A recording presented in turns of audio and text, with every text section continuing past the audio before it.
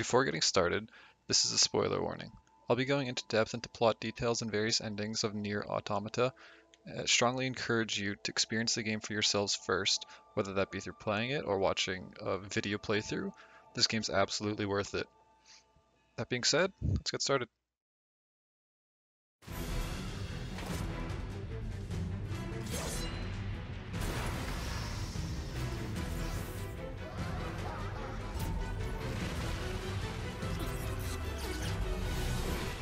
What you just saw was a snippet of what Nier Automata was marketed to be, a traditional action hack and slash starring an attractive poster girl and you think great, violence and eye candy. But that's simply not an accurate assessment, and the opening line demonstrates the depth beyond the marketing. Everything that lives is designed to end. We are perpetually trapped in a never ending spiral of life and death. Is this a curse? Or some kind of punishment? I often think about the god who blessed us with this cryptic puzzle, and wonder if we'll ever have the chance to kill him. So the marketing and this opening quote seem to clash considering the impression that the trailer gives you. But the reality is that Automata regularly confronts big picture questions and philosophical themes in a largely nihilistic manner, and this opening served to prepare you for that confrontation. There are three playable Android protagonists in Automata, 2B, 9S, and A2. And there are also five endings that need to be completed to get the full experience of the game. The premise revolves around a conflict between androids and machines, androids who are created by humans who have fled to the moon while the conflict rages on, and machines who are created by alien invaders. The results of this conflict leads to strong questions about identity, religion, and existentialism. The first identity questions are raised by this character, a resistance supply trader, who represents the Ship of Theseus paradox. His left leg's been damaged, and as an android he could replace it, but refuses to do so as it's his last original part, and the thought of doing so has him questioning if he'd even be himself anymore. This seemingly insignificant side character encountered early in the game plants an idea of conflicting identity in the player, and while maybe not the most impactful, it sets a precedent for more thought-provoking topics to be brought up in the story. Such as when 2B and 9S are brought to an existential crisis and try to find meaning in life after discovering a major plot point central to the existential philosophy of automata. That means Mankind no longer exists. In truth, humans never went to the moon at all. Are they dead? 2B. Look. Destroyed alien motherships. Learning that humanity and the aliens are both extinct leaves us as the players and the characters of Automata questioning the reasoning behind all the conflict and how to create meaning in an absence of a core purpose.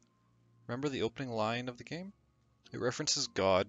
Humanity is quite literally a godly figure in the perspective of our android protagonists. No one fights without a reason. And we need a god worth dying for. This begs the question, what if you were presented with concrete evidence that your faith was invalid? How would that change who you are fundamentally as a person?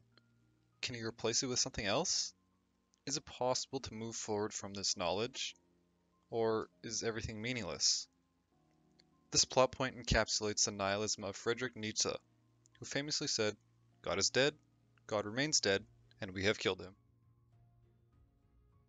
Further expanding on Nietzsche's nihilism in Automata is seen in the machine cult, who aim to become as gods through death. Nietzsche believed that enlightenment is achieved after life, and the machine's interpretation of this means they'll become as gods after committing mass suicide. Parallel to this, with a stronger focus on existentialism and a bitter religion, is seen in the primary antagonists of the first two playthroughs, Adam and Eve. Outside of their names, Adam and Eve don't share much similarities between the biblical figures. Their stories go like this. Adam was created first, literally born of machines replicating human acts of sex despite having no reproductive organs. And Adam creates Eve after initially being defeated by 2B and 9S. Once each of them are created, we learn that they have differing objectives. Adam seeks to learn about humanity, while Eve aims to protect Adam. Before being killed, Adam concludes the core essence of humanity is violence. The core of humanity is conflict. They fight, steal, kill.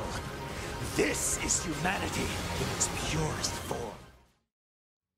Adam forms his own conclusion about what makes humans human, and after completing that, he dies at the hands of 2B, fulfilling his meaning in life. However, his death leaves Eve in a situation identical to that of our protagonist. His life is empty of meaning. I know you two feel the same. That this world is utterly meaningless. So how do we create meaning? Is it inherent? Is there a point to living if meaning is lost? These are just a few questions raised by the conclusion of Adam and Eve's arc.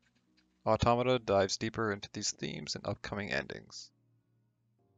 In the next playthrough, which sees you take control of A2, the primary conflict is created when A2 mercy kills 2B, in which 9S was a witness. 2B! 2B! 2B! Are you?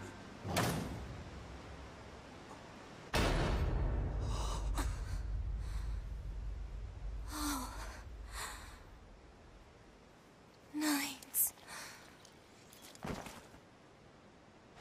Oh no! Unknown to 9S, 2B was already dying of a virus and gave her memories to A2 so that some of her may live on, but all 9S sees is murder, causing him to become enraged. From this point on, 9S makes it his mission to kill every last machine, and then kill A2. After a long series of events, which sees A2 help pacifist machines and 9S go on a machine-killing rampage, the two face off atop a machine tower that'll destroy the remaining human data on the moon. The weight of this upcoming battle is heavy on the player. A2 is a character you spent little time playing as, whose dialogue has her come off as cold, unattached, and angry, but her actions suggest otherwise. Whereas 9S is someone you spent a significant amount of time with, whose grief of 2B you understand, but you also witness his deteriorating mental state and you must choose who you will side with. There's no sitting on the fence here. Your decision ultimately demonstrates which of the character's beliefs you agree with. Will you choose to see that there are joys to living?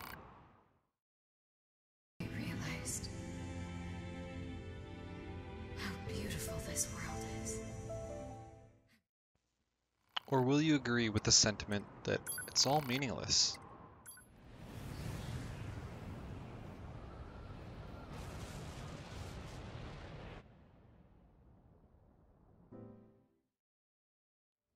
Regardless of who you side with, the ending is bittersweet, and the credits begin to roll. While the stories of 2B, 9S, and A2 may have come to a close, your experience as a player isn't over quite yet. In order to get what's considered the true ending, Automata directly asks the players questions about what they just experienced.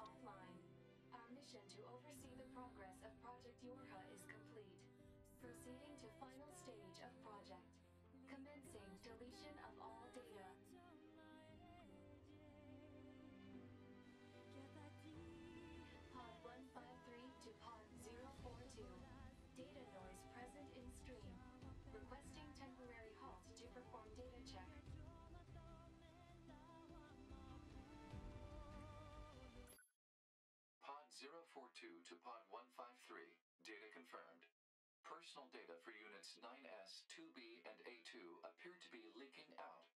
Pod 153 to Pod 042. Follow project rules and delete all personal data. Pod 042 to Pod 153. Personal data deletion request denied. Pod 153 to Pod 042. Failure to parse statement. Pod 042 to Pod 153. There was data created in my banks as I was referencing the records. I realized something. I have come to the conclusion that I cannot accept this resolution. The support pods who have accompanied you on this journey interject over the credits, claiming they simply cannot accept this conclusion. They ask your thoughts, and upon agreeing them, it prompts them to attempt to revive the androids and change the course of fate, while also triggering a near impossible gameplay sequence. Every time you fail, you're asked a question.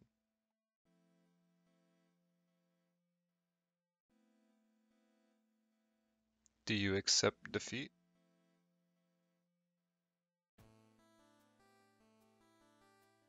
The defense program has initiated a purge. If this continues, our consciousness data Is it all pointless?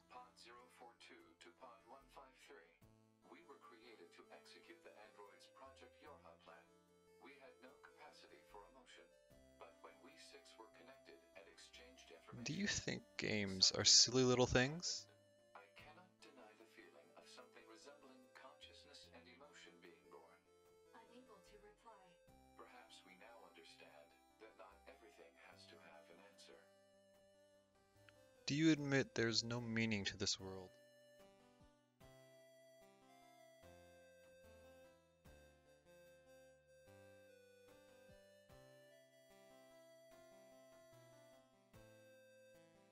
To reach the end, the player must answer no to all of these questions, which directly contradicts the bleak, nihilistic, and downright depressing themes that Automata has shown throughout the course of the game. By directly making you answer these existential questions at its true conclusion, but also needing to answer no to each, subverts expectations built up after everything you've experienced. That's something Automata does expertly. It begins by subverting expectations created by marketing, and ends by subverting its own nihilistic themes. This is what made my experience with Nier Automata unexpectedly thought provoking.